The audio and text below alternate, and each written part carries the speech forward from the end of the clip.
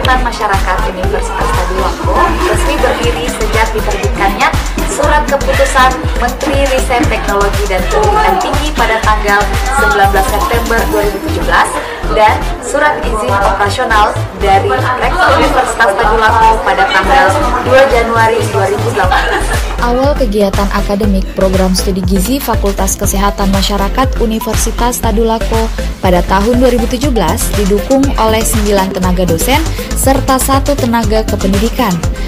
Mahasiswa tahun pertama pada tahun 2018 yang lulus dan diterima menjadi mahasiswa program studi gizi Fakultas Kesehatan Masyarakat Universitas Tadulako berjumlah 105 orang, sementara tahun kedua sebanyak 112 orang.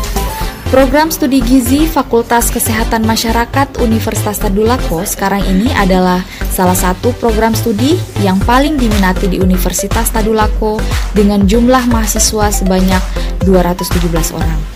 Dosen sebanyak 10 orang dan dua orang tenaga kependidikan.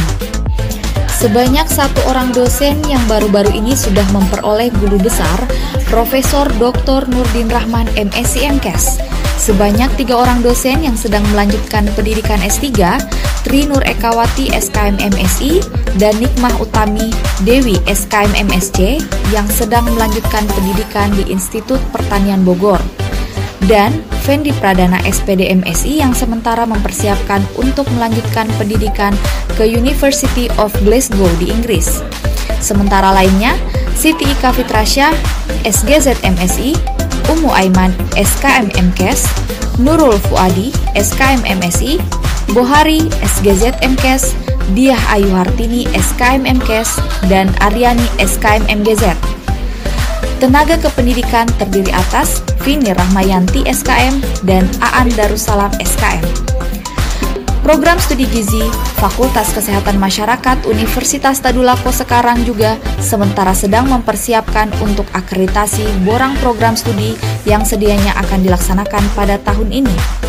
Program studi gizi Fakultas Kesehatan Masyarakat Universitas Tadulako terus mengalami perubahan ke arah yang membanggakan sejak awal terbentuknya dengan support dari pimpinan yang tidak hentinya hingga saat ini. Perubahan itu dalam jangka pendek menciptakan efisiensi kurikulum, sumber daya manusia, ruang, revenue, riset, jumlah mahasiswa, infrastruktur, dan lain-lain. Sesuai dengan visi Prodi Gizi FKM UNTAD, pada tahun 2030, program studi gizi Universitas Tadulako mampu menciptakan sumber daya manusia yang profesional dan unggul dalam bidang gizi melalui penelitian dan pengabdian kepada masyarakat.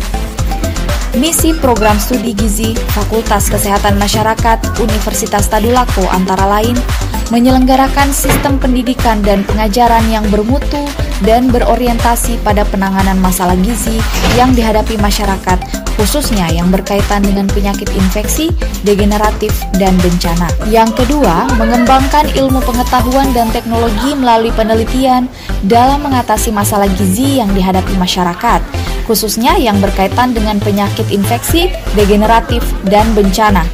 Yang ketiga, menyelenggarakan pengabdian masyarakat dalam mengatasi masalah gizi yang dihadapi masyarakat, khususnya yang berkaitan dengan penyakit infeksi, degeneratif, dan bencana.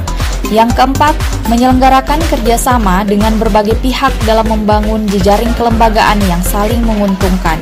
Yang kelima, menyelenggarakan dan mengembangkan tata kelola program studi dengan mengembangkan manajemen internal yang kredibel, transparan, akuntabel, bertanggung jawab, dan adil.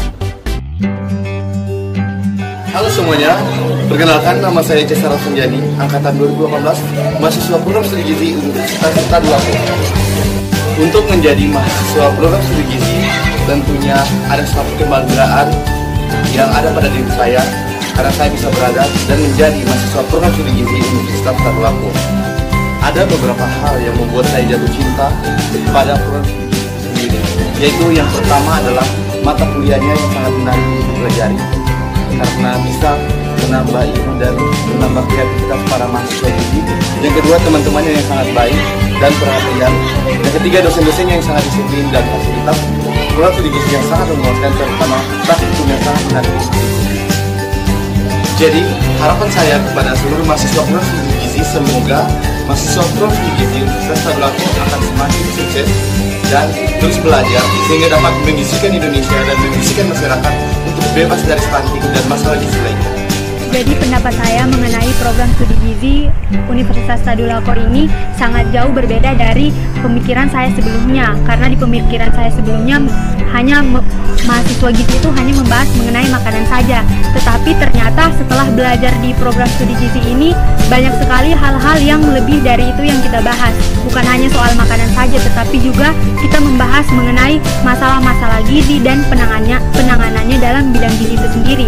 Nah selain itu kita juga diajarkan mengenai bagaimana berwirausaha dengan baik. Jadi, selain kita belajar materi dalam kelas, kita juga punya implementasi selain dari materi tersebut. Nah, kita di sini diajarkan bagaimana berwirausaha dengan baik dengan menciptakan suatu produk yang tentunya related dengan uh, basic kita sendiri yaitu di bidang gizi. Nah, selain itu juga kita diajarkan mengembangkan sebuah media yang bang yang berkaitan dengan masalah gizi dan itu informatif dan komunikatif untuk masyarakat mengenai masalah gizi.